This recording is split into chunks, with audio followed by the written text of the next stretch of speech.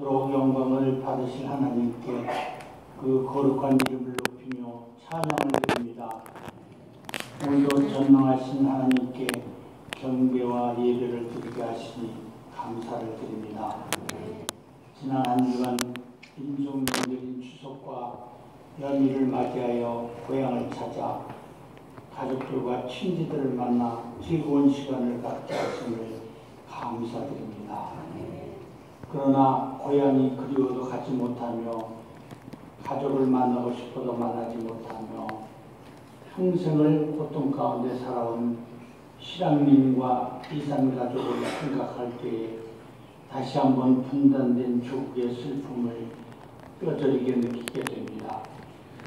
백성들의 고통은 아랑곳하지 않고 세계의 모든 나라들과 유엔의 모든 회원국이 반대하며 비난하는 중에도 오로지 핵무장을 고집하며 세계를 불안에 떨게 하는 북한 정권이 하루속히 그들의 잘못된 생각을 바꾸어 평화의 길로 나오게, 나오게 하시고 공포와 고난 가운데 살아가는 북한 동포들을 구원하여 주시옵소서.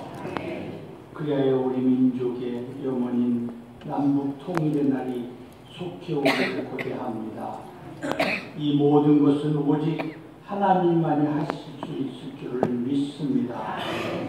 이 나라의 유정자들에게 지혜를 주시어서 일시적인 인기 영합의 단파 정치가 아니고 우리 후세대가 행복하게 어깨를 펴고 살아갈 수 있는 국가를 세워가기 위해서 장기적인 목적을 세우고 그 길로 나아갈 수 있도록 도와주시옵소서. 이 나라를 지극히 사랑하여 주셔서 어려울 때마다 도우시어 어려움을 극복하고 괄목할 만한 성격을 가져오게 하셨을 뿐만 아니라 축복하여 주셔서 세계 곳곳에 선교사를 파송하게 하시어 주의 말씀을 전하게 하는 국가로 세워주심을 주여 감사드립니다. 앞으로도 더욱 이 일에 더 많이 헌신하는 국가가 되게 하옵소서.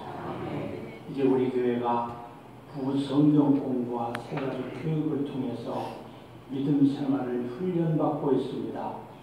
훈련받아 참된 제자의 모습으로 살아가게 하옵소서.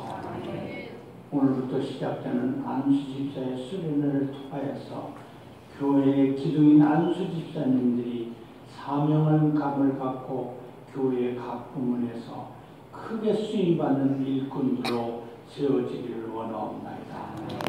또한 경건의 습관 만들기 운동을 통해서 모두가 하나님의 거룩하심을 닮아 거룩한 생활을 익혀서 하나님 앞과 이웃과 사회에 본이 되는 삶을 살아가게 하옵소서. 국가와 민족을 위해서 목숨 걸고 기도하였던 다니엘과 믿음의 선진들의 본을 받아서 기도의 용사들이 되어 더욱 하나님을 알아가고 그의 뜻을 깨닫게 하옵소서. 이 시간도 우리에게 말씀을 전하시는 목사님을 성령께서 붙들어 주셔서 듣는 우리의 마음과 귀를 열어 주셔서 바로 믿고 바로 살아가는 저희가 되게 하옵소서. 오직 하나님 나를 바라보며 의의 가치를 두고 살아가는 청지기의 삶을 살게 하옵소서. 지금도 육신의 질병으로 고통받고 있는 성도들에게 치료하는 광선을 비추시어 속히 치료하여 주시옵소서. 여러 가지 사정으로 예배에 참석하지 못하는 성도들에게도 동의는 은혜를 이루어 주옵소서. 예배를 위해서 또 각 부서에서 몸바쳐 헌신하는 모든 성들을 기억하시어 한량없는 노래를 부어 주시옵소서.